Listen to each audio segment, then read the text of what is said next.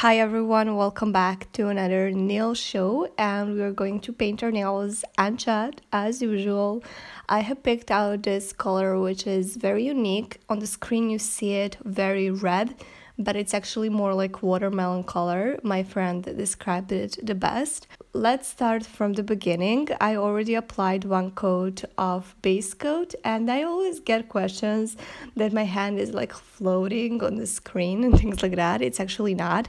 It's on this little thing that is actually my face cream. My face cream used to be in it, but now I just use it as my hand like placement so that background you see can be kind of blurred and only the items are in focus. Whenever i do like red colors or very dark plummy colors i always apply two coats of base coat because i feel like it protects my nails from staining that way because the reds and the plummy colors stain your nails the most. And i know that people don't care about like staining their nails but i just really do that. So it's kind of a habit. I'm using this nail polish which is called legally pink by essence shine last and go nail polish collection.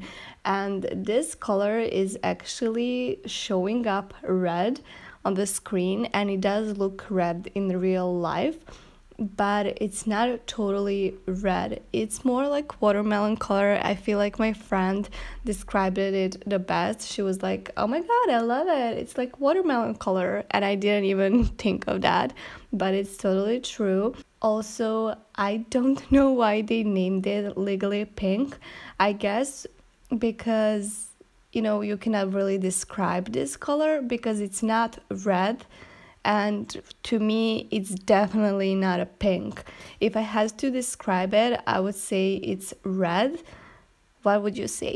Like would you say it's red? I think it is. But anyways i'm applying it as you can see and it's very pretty. I have it on my nails as i'm filming this voiceover and i keep looking at it because it shines so pretty it gives you like that glossy finish even if you don't apply a top coat but I did apply a top coat in this video you will see it.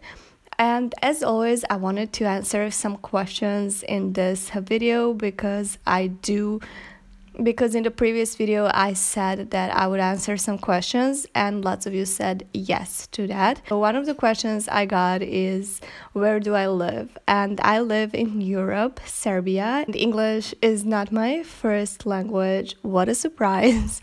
in our country, English is not like main language. It's Serbian, so I do speak Serbian and English. And I do speak a little bit of Spanish as well because I did learn it. I also got a question that I should say something in Serbian. So I'm going to say hvala vam puno što gledate, which means thank you so much for watching. And I don't know what else I could say because I felt like that is something that I always say in my videos. So why not say it in Serbian as well? I hope you guys enjoy this video. Let me know what you think in comments because I love hearing your feedback. You know that already. And let me know do you see this color as red or as kind of pink? I definitely see it as red, but I want to see, I want to hear your opinion as well. Give this video a thumbs up if you enjoyed it and I will talk with you in my next video. Until then, never let anyone dull your sparkle. Bye.